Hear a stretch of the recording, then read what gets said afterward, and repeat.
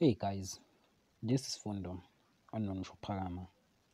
Tonight on Skeem Saam, Kokiso fall downs for Lehasa on the work as the shareholder gets up on Lehasa as he defend an incompetent manager. Koki Gosi kids been bent on the work.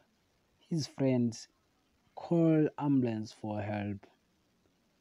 NIMZA firms when Osflows take a drastic measure to stand up for himself.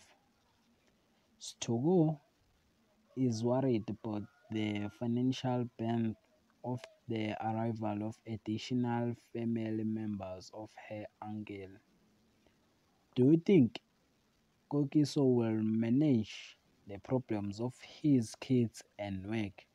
Please leave your comment below. Don't forget to like and comment and subscribe. Therefore, thanks.